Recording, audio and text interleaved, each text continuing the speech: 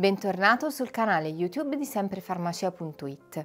Se le tue dita esposte al freddo diventano pallide per poi passare al rosso acceso, potresti soffrire della sindrome di Renault. Questo fenomeno nella maggior parte dei casi non è grave e si controlla con delle semplici accortezze. Qualche volta però bisogna indagare perché potrebbe essere la manifestazione di patologie più gravi come alcune malattie autoimmuni. In questo video capiamo cos'è la sindrome di Renault, quali sono i sintomi e le cause, quali sono gli esami per approfondire e come si cura. Se il video ti piace metti like e ricordati di iscriverti al canale. La sindrome o fenomeno di Renault secondo le stime colpisce circa il 3-5% della popolazione, in prevalenza donne e di giovane età consiste in una serie di alterazioni della circolazione osservate per la prima volta verso la fine dell'Ottocento da un medico francese, Maurice Reynaud. Questo fenomeno colpisce le estremità del corpo, quindi mani e piedi, ma può arrivare a colpire anche il volto, naso e orecchie. Le alterazioni si susseguono secondo uno schema che permette di individuare diverse fasi della sindrome caratterizzate da sintomi peculiari. In seguito a stimoli come il freddo o forti stress emotivi, i vasi arteriosi periferici che portano ossigeno ai tessuti si restringono.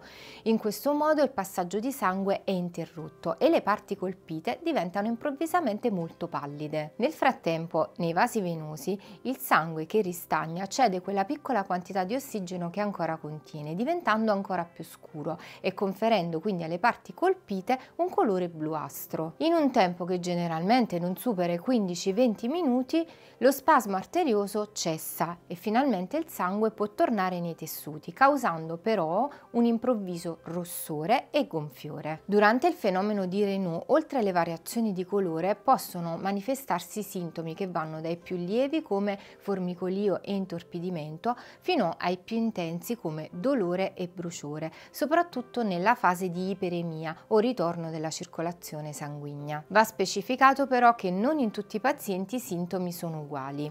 Nei casi lievi possono manifestarsi dei semplici fastidi e possono non presentarsi tutte le fasi. In altri casi invece gli attacchi sono così frequenti e intensi che possono arrivare a formarsi delle ulcere o addirittura si può andare incontro a morte dei tessuti. Ma cosa provoca questi episodi? Vediamolo insieme. In genere il fenomeno di Renault si manifesta in seguito a stress emotivi o all'esposizione al freddo. Possono essere sufficienti temperature inferiori ai 15 gradi o semplicemente lavare le mani con acqua fredda.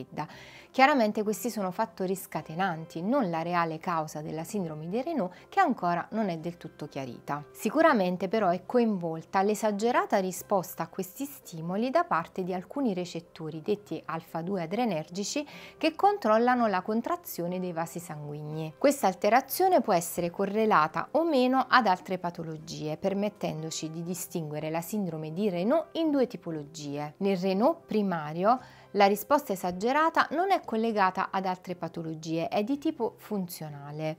Questa è la forma che si manifesta più frequentemente e per fortuna in modo meno grave. Nel Renault secondario il fenomeno si presenta come sintomo di altre patologie che generalmente sono a carattere autoimmunitario e che danneggiano arterie e nervi. Tra le patologie che più frequentemente si manifestano col fenomeno di Renault ricordiamo la sclerodermia e il lupus eritematoso sistemico. In ogni caso esistono dei fattori che predispongono alla sindrome di Renault.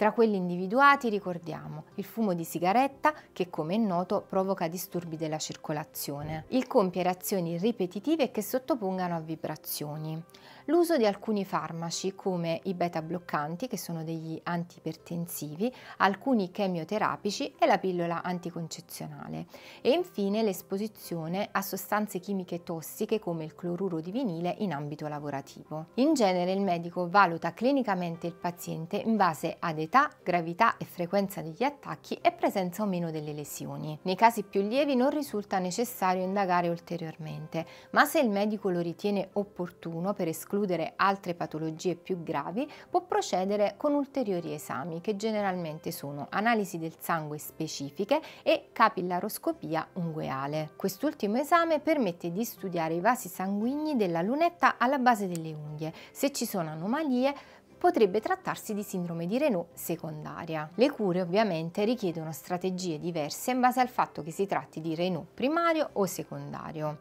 Nel Renault primario generalmente si tende ad evitare i fattori scatenanti, quindi freddo e stress emotivo, ma anche quelli predisponenti, quindi ad esempio fumo e farmaci. Nei casi più importanti si può ricorrere ad alcuni farmaci vasodilatatori come la prazosina, un alfa bloccante. Invece nel caso del Renault secondario si deve necessariamente andare ad agire su quella che è la patologia che scatena il problema. Abbiamo visto cos'è il fenomeno di Renault e in quali casi è importante indagare. E tu ne hai mai sofferto? Se hai domande o vuoi lasciare la tua testimonianza, lascia un commento. Un saluto dalla dottoressa Valentina di semprefarmacia.it, la tua farmacia sempre con te.